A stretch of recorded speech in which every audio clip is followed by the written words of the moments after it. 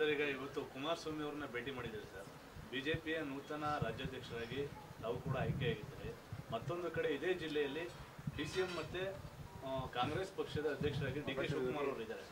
ಬೆಂಗಳೂರು ಗ್ರಾಮಾಂತರ ಲೋಕಸಭಾ ಕ್ಷೇತ್ರದ ಏಕೈಕ ಸಂಸದ ಡಿ ಕೆ ಸುರೇಶ್ ಅವರು. ಇವರ ವಿರುದ್ಧ ನಿಮ್ಮ ಮೈತ್ರಿ ಯಾವ ರೀತಿ ಸ್ಟ್ರಾಟಜಿ ಮಾಡಿದೆ ಏನು ಸ್ಟ್ರಾಟಜಿ ಮಾಡ್ತೇವೆ ಅಂತಕ್ಕಂಥದ್ದು ನಾಲ್ಕು ಗೋಡೆ ಮಧ್ಯೆ ಕೂತು ಚರ್ಚೆ ಮಾಡಿ ತೀರ್ಮಾನ ಮಾಡ್ತೇವೆ ಆದರೆ ಒಂದಂತೂ ನಿಮ್ಗೆ ವಿಶ್ವಾಸ ಕೊಡ್ತೇನೆ, ಸ್ಪಷ್ಟವಾಗಿ ಹೇಳ್ತೇನೆ.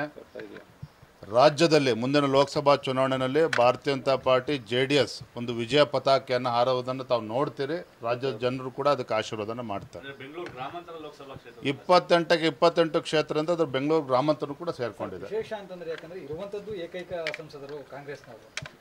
ಅದನ್ನ ಟಾರ್ಗೆಟ್ ಮಾಡುವಂತಹ ವಿಚಾರದಲ್ಲಿ. ಅಂದ್ರೆ ರಾಜ್ಯದ ಜನ ಏಕೈಕ ಸಂಸದರು ಕೂಡ ಇರಬಾರ್ದು. ರಾಜ್ಯದ ಹಿತದೃಷ್ಟಿಯಿಂದ ಅದು ಒಳ್ಳೇದಲ್ಲ ಅಂತೇಳಿ ಮುಂದಿನ ದಿನದಲ್ಲಿ ಆ ತೀರ್ಮಾನವನ್ನು ಮಾಡ್ತಾರೆ. Thank you thank you thank you sir ಈಗ ಸೀಟು ಹಂಚಿಕೆ ಬಗ್ಗೆ ಏನಾದ್ರು ಕುಮಾರಸ್ವಾಮಿ ಅವ್ರ ಜೊತೆ ಏನಾದ್ರು ಕುಮಾರ್ ಕುಮಾರಸ್ವಾಮಿ ಮಾತಾಡಿ ಮಾತಾಡ್ತೀನಿ ಡೈಲಿಗೂ ಕೊಡೋ